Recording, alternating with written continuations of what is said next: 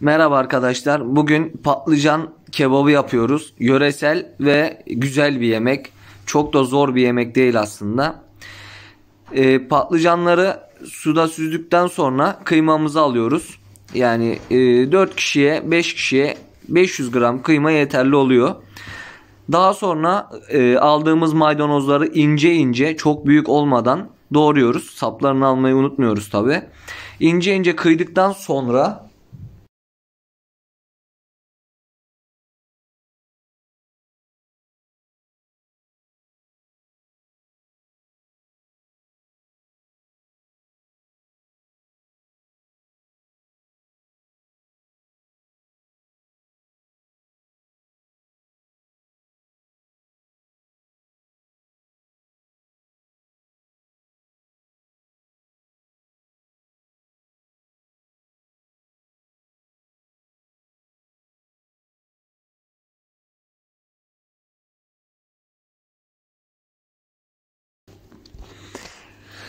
doğradıktan sonra e, kıymamızın içine atıyoruz.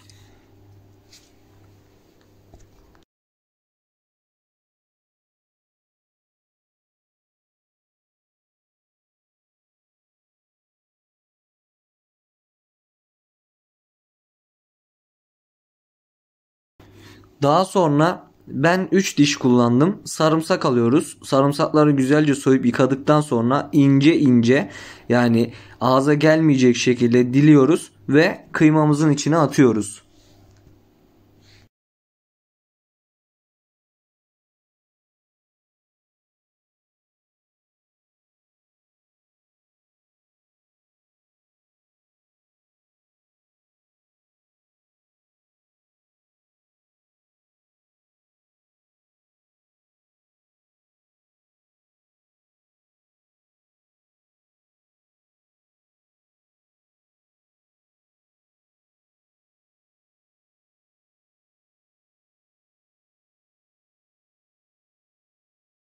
Sonrasında aldığımız bir tane soyulmuş soğanı ince ince kare şeklinde doğruyoruz ve kıymamızın içine atıyoruz.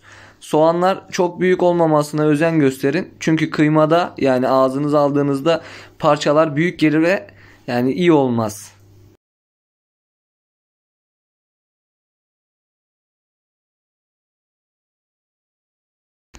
Doğradığımız soğanları kıyma harcının içine ekliyoruz.